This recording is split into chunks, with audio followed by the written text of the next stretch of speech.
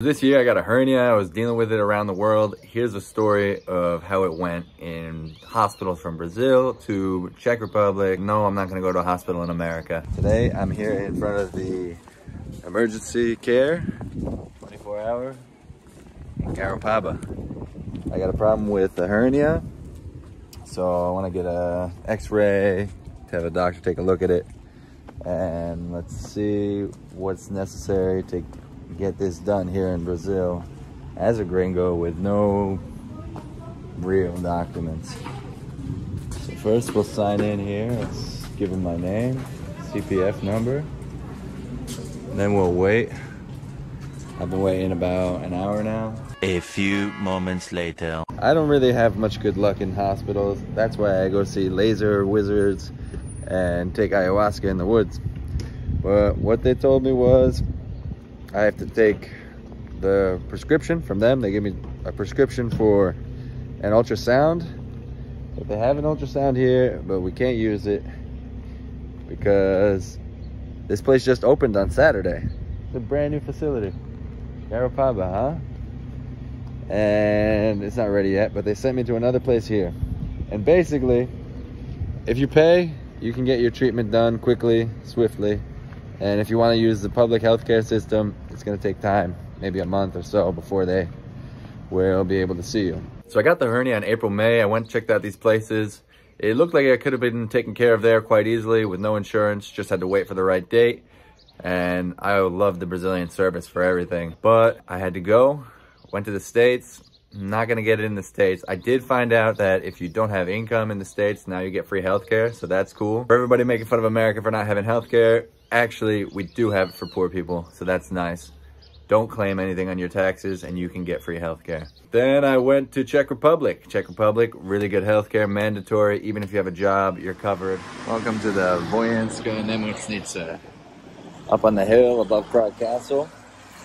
I'd say this might be the best place to get treated. This is where the military goes. This is where the president gets some operations. I'm here for the first time, so let's see if I can find where I need to go. So this is it, the surgery pavilion. About three month waiting list. It's a good place, you know.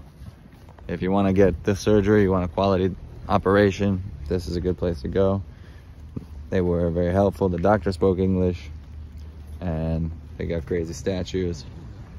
So a lot of good recommendations here at the Army Hospital. So if you have an important procedure coming up, I would feel comfortable coming here in Czech Republic. They accept insurance.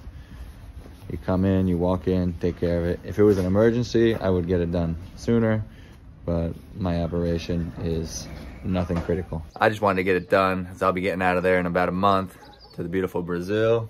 So I went and checked out a semi-private clinic, Palace Athena. Also, had really good reviews. It got me an appointment within two, three weeks to get the surgery done. So that was cool. Worked out perfectly for my timeline. Had a couple of weeks recovery in Prague before I could fly out and carry my bags and get ready to go surfing. This is my room here at Palace Athena. Cool place.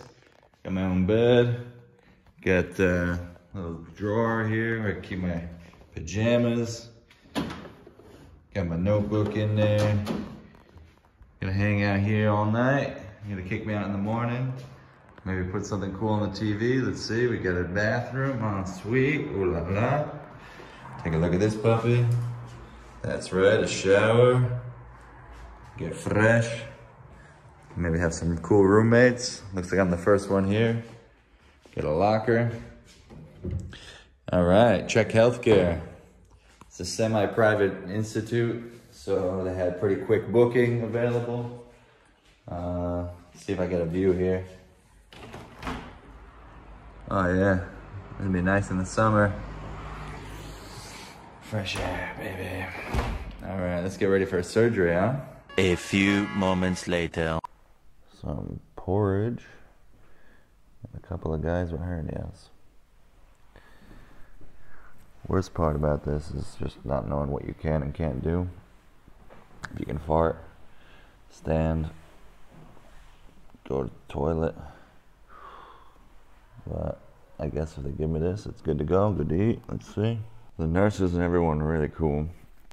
The anesthesiologist, he was the MVP. I didn't even see the surgeon. He was pretty antisocial. But uh, I guess the most worrying thing was getting knocked out. And what that doctor told me, the anesthesiologist told me that going under is like 30 levels below the level of consciousness you go to for the dream world when you sleep regularly. So that's pretty wild. Oh, here we go. Got some nice little scarage here. All yellow still from the iodine. Two days later, look how white I am. Who would have thought? Gotta get to Brazil, baby.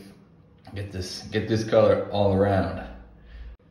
Finally gonna go take a shower. Been laying around for a couple of days. In the end, it took me almost a year to get the surgery done. I didn't have confidence in it. I'd prefer to handle it on my own if it's possible. Everybody says it can be done except for a few local people on YouTube. You can check out here below this other guy, Tom, who fixed his hernia on himself. And I believe it's possible. You just really need to focus.